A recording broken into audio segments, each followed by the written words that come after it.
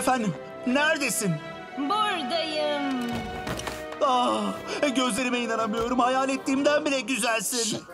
Evet, işte rezillikte son perde.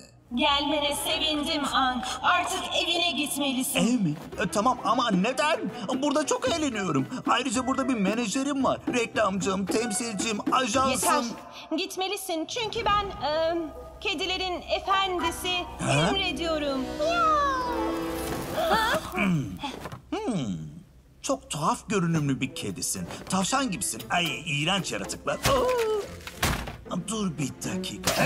Senin kedilerin efendisi olduğundan şüpheliyim ben.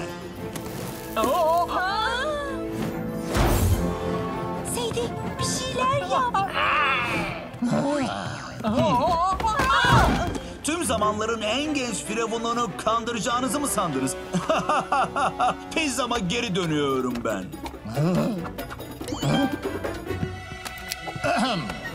Dur!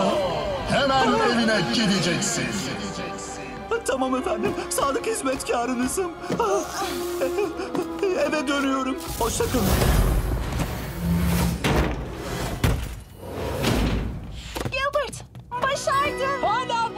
buradayım. Sen çok korkutucu bir tavşansın. Bunu unutma çizgi romancı. Antik Mısırlılar makyaj yapmanın yanı sıra kedilere taparlarmış. Mesela Yüce Osis'e. Çok tatlı olmuş. Bu size haşmetli ve bağışlayıcı efendimiz. Kanka, kediler cips sever mi? Bu süper havalı kedi istediğini elde eder.